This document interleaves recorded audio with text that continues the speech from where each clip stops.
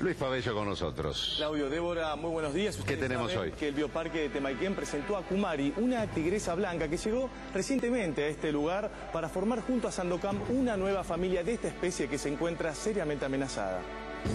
La pesca ilegal no solo depreda nuestros mares agotando los recursos ictícolas del país, también atenta contra nuestra soberanía, ya que nuestro mar es parte indivisible de la patria. Aprende a conocerlo y a protegerlo. Fundación Azul de los Trabajadores Marítimos.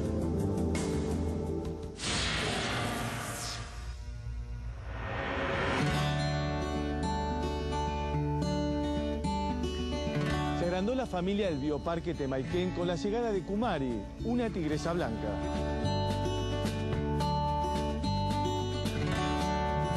Julio, llegó Kumari al Bioparque de Temaiken. Es verdad, Luis, está Kumari con nosotros, una hembra de dos años de tigre blanco, eh, vino para Temaiken hace aproximadamente un mes y estamos trabajando con ella, mm, conociéndola, viendo quién es Kumari, mostrándonos nosotros también como cuidadores, que ella entienda quiénes somos nosotros y cuál es la función que cumplimos en el día a día de ella. Kumari eh, está acá en Temaiken para ser mm, parte de un programa de reproducción de esta especie. Eh, nosotros ya contábamos con un tigre blanco, el nombre de él es Sandokan. Vamos a hacer acá una aclaración. Sandokan eh, es el macho que teníamos y Kumari en lengua india significa princesa. entonces en algún tiempo Kumari se va a juntar a Sandokan y vamos a poder ver cuál es la relación entre ellos dos.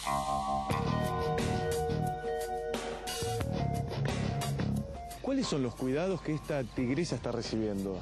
Kumari hoy en día tiene cuidados que van desde factores nutricionales para poder hacer un buen acompañamiento del crecimiento, de la etapa de crecimiento del animal, eh, cuidados que tienen que ver con el paisajismo del lugar, cuidados que tienen que ver con veterinaria para saber cómo está la salud de Kumari. Eh, y hay todo un cuerpo de cuidadores, de gente que trabaja con enriquecimiento, con comportamiento animal, que también hace el soporte de toda esta eh, gran familia, por decirlo de alguna forma, que tiene Kumari alrededor para poder trabajar y enseñarle a vivir en Temaiken.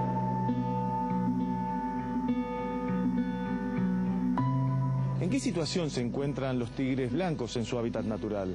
El hábitat natural de estos animales está en un serio riesgo, Luis, porque son animales que viven en lugares frondosos, lugares donde ellos hacen de estos hábitats lugares para esconderse, lugares para protegerse. Entonces al desmontar o al entrar ya directamente a la selva y poder construir o adentrarse en, cosas que tengan que ver con llevar a la gente adentro de estos lugares, es un riesgo para ellos. Además, vos fíjate el color que tienen, es un animal que a simple vista eh, aparece, entonces puede ser un blanco perfecto para cualquier tipo de instrumento de caza, eh, trampas. no se puede camuflar fácilmente. Exacto.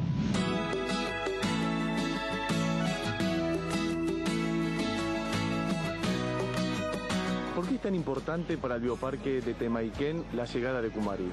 Es un rol importante que Temaiken cumple eh, con la reproducción dentro del ambiente controlado. Entonces Kumari viene con ese fin, dentro de, por decirte algo en tiempo, un año, eh, quizá Kumari se junte a Sandokan en este mismo ambiente y ellos puedan generar una familia dentro de, de Temaiken. Y aprender de una, de una familia de, de gatos es algo interesantísimo, como cualquier otra especie dentro del bioparque también.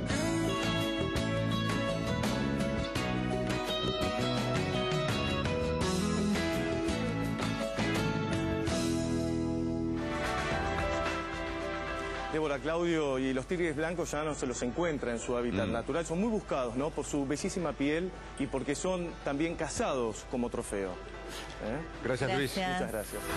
Nos vamos con lluvia. Sí, ya están aquí nuestros compañeros, Melina Fleiderman, Guillermo Faval y se queda Mauro Sete y todo el equipo. Muchísimas gracias por estar allí. Nos veremos mañana jueves, si Dios quiere.